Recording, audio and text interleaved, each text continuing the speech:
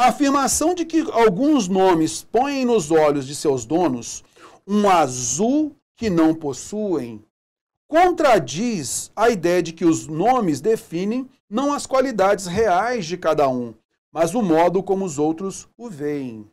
Cara, então vamos fazer o seguinte: um azul que não possuem. Vamos lá ao texto observar isso.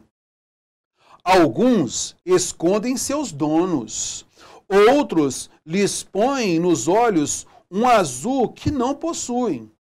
Ele tinha falado anteriormente que o nome, ele representa né, a pessoa, olha, é o nosso rosto na multidão de palavras. O nome delineia os traços da imagem que fazem de nós, que as pessoas fazem de nós, embora não do que somos realmente no íntimo. E ele vai corroborar essa ideia. Então há uma imagem que as pessoas fazem de nós, mas não quer dizer que a pessoa seja isso realmente no íntimo. Alguns escondem seus donos, outros lhes põem nos olhos um azul que não possuem. Como a gente poderia entender isso melhor? Alguns escondem seus donos, isto é, o nome, né? O nome representaria, sei lá, de repente representa uma pessoa, né? Ah, uma, uma, uma vamos colocar assim que aquele nome é, originalmente, seu sentido do nome, né, é como uma, uma, ideia de felicidade, ou uma ideia de que uma pessoa que tem a liderança, né, ou de repente foi de um imperador antigo, alguma coisa assim, e acaba escondendo quem a pessoa realmente é. Né? Seria mais ou menos isso.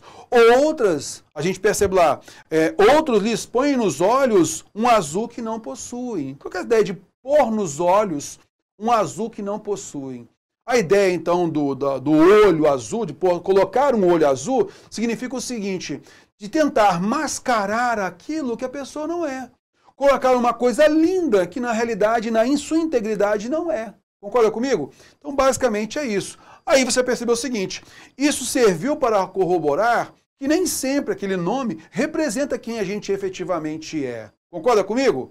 Então, eu consigo perceber aqui que a afirmação de que alguns nomes põem nos olhos de seus donos um azul que não possuem, isso confirma a ideia de que os nomes definem não as qualidades reais de cada um no seu íntimo, mas o modo como os outros veem aquela pessoa.